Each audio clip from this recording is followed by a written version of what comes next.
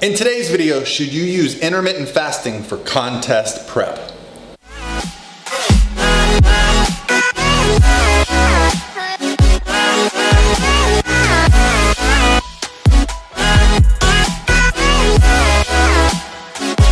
all by myself. Hey guys, this is Paul from ProPhysique.com. In today's video, we're gonna discuss the topic of intermittent fasting as in its use in contest prep. Now, first I wanna say thank you for the great questions. They've been coming across my Instagram direct message. I've been screenshotting them, saving them. Here it is, I'll post it up here for you. Here's my Instagram and the, uh, the question that came along today. And I felt it was a good question, though a little bit incomplete. But I wanna ask you guys a favor. If you've been enjoying these videos, I've noticed that quite a few of my video views are by non-subscribers. Maybe you don't know how much I value seeing that little subscriber number go up. So if you haven't done it yet and you get a chance, please click the subscribe button. It makes my day. Now let's talk about intermittent fasting and contest prep. So the question came in about the trainer who is helping her get ready for her second contest prep. And she mentions that they're starting prep while fasting and then working out in a fasted state and then doing three cardio sessions per week and taking in about 1500 calories. Well, first things first, was this plan orchestrated because of your current situation? I don't know anything about you, height, weight, uh, how far you are from stage, how far, how much body fat you have to lose.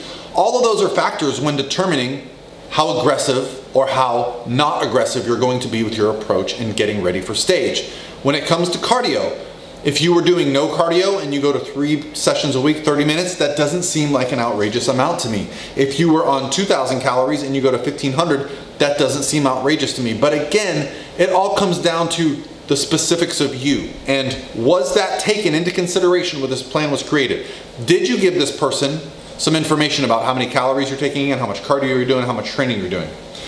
Outside of that, let's get into the specifics of intermittent fasting. Do I think intermittent fasting is effective? Yeah, I've obviously seen some people get great results with it. Some people live by it. It helps them to maintain a body composition they're happy with without having to be super strict with calories. But having said that, during contest prep, I really believe in the idea of eating at regular intervals. Now, having said that, intermittent fasting is not one thing. There's not one way to do intermittent fasting. In fact, I think I probably practice some form of fasting because my last meal is around 9 o'clock at night. My first meal is around 8 o'clock in the morning. That's an 11 hour fast. Now granted, most of that is spent sleeping, but some of that is spent working. So I technically am fasting for 11 hours. I think what most people refer to when they talk about fasting, especially if you're doing a three hour, a three meal day, you're probably doing the 16 hour fast, eat in an eight hour window, and for that reason maybe you're training fasted and then eating after your first um, eating after your workout session. I'm not sure. You didn't really give me the specifics on that. Here's what i'll say. If you're working with a trainer you need to trust that person. If you're working with a coach you need to trust that person. Does that mean you should not question things? Hell no. Question everything. But if they give you a sound answer and it gets you to the point where you can follow through with the plan then go with it the only real problem I have is when people just give out ideas and thoughts and plans blindly based on what they think works, what they've seen work, without the specifics of the individual being thought of. That's the most important thing. You're different than everyone else. If the, the trainer gave you the same plan as someone else in the gym, well, you got to pay attention to maybe you're not getting the best information. If you're paying for a service, make sure you're getting a service that you value, okay? None of us are perfect. I make mistakes, your trainer is going to make mistakes, but does that person make mistakes while trying to serve your best interest? That's the real big question. So, does fasting work? I believe there's value in fasting. You know, I'm a person who eats too much protein, I feel like, for me to focus on eating in an eight hour window.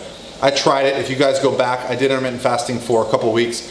My real struggle was I eat 250 grams of protein a day because I weigh 210 pounds. Um, well, actually, guys, I'm down to 205. I should probably do a physique update because I'm a lot leaner at 205 than I was at 210 for my last update a couple weeks ago. So if you guys are interested in a physique update, make a comment below and I'll get that done in the next couple days. But because my protein is so high, I was having trouble getting 70, 80 grams of protein in a sitting when the meals were so close together. So I like breaking up my meals into four a day, but I'm still typically getting a fast because I'm eating at like eight, I'm eating at noon, I'm eating at five, I'm eating at eight or nine, and then I'm going to bed, right? So I'm spacing my meals out. I feel much more comfortable getting 60 or 70 grams of protein per meal as opposed to trying to really cram myself and really feel stuffed. Um, and spacing out my meals gives me energy throughout the day. You know, I know people that love fasting because they say they're not hungry, they have more energy. I'm probably in a state of my diet where fasting is pretty much happening because of how lean I am. So I think it comes down to what's successful to you, what works with your schedule, what works with your timeline. Do I think there's a benefit to fasting and only having two or three meals versus having four meals when calories, protein, fiber are the same?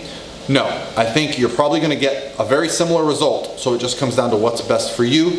And worst case scenario, if you try it for a week or two, like I did, and you decide you don't like it, well, you can always change it. All right, guys, that's gonna be it for me today. Awesome question. Thank you, guys. Keep them coming, and I'll talk to you tomorrow.